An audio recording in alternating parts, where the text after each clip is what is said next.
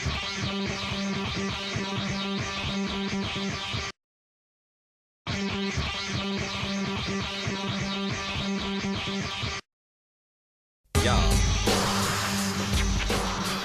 Sekali lagi, kita telah benar-benar diuji integritasnya.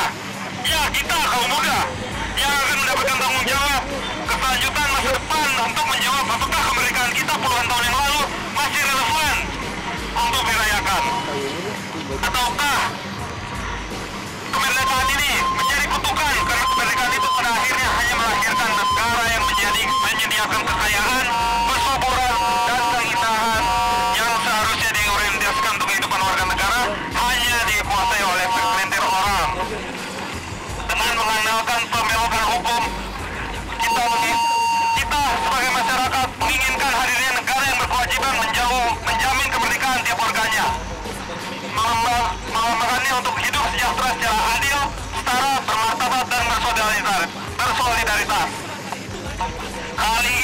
KPK tengah menghadapi kasus mega korupsi. Kali ini, yakni IKTP yang diduga akan melibatkan sedemikian banyak pejabat publik, negara, dan pengusaha musuh.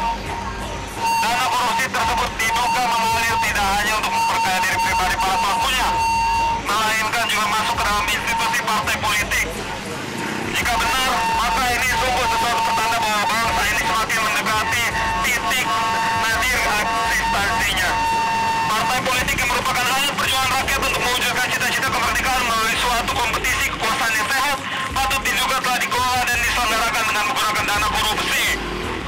kekuasaan telah diselenggarakan dengan cara yang hina dan menjijikan.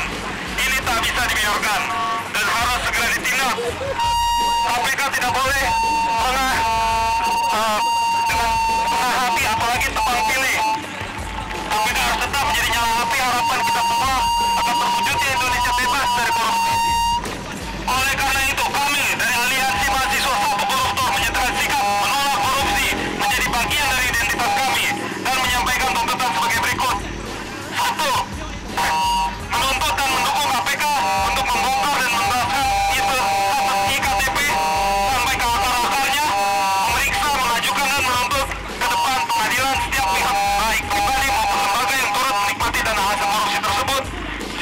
berkeadilan dan transparan.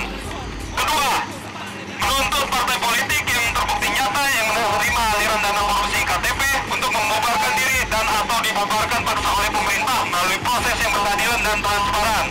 Tiga, menurut pemerintah kita, menuntut pemerintah kita Jokowi JK berani berpihak dan mendukung upaya KPK menuntaskan kasus di KTP secara tegas termasuk upaya pembubaran partai politik yang terbukti nyata menerima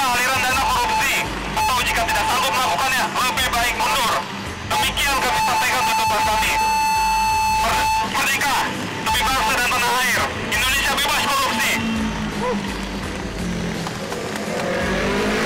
Bukti yang dilakukan oleh kawan kita menunjukkan bahwa lagi-lagi kawan-kawan, rakyat kawan-kawan, warga negara dirugikan kembali oleh segelintir orang yang katanya mengutamakan hak hak publik.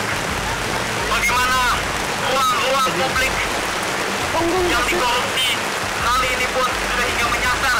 Hingga di praktik yang paling sederhana, hingga di praktik yang paling kecil, hingga di praktik yang paling langsung yakni pembuatan KTP.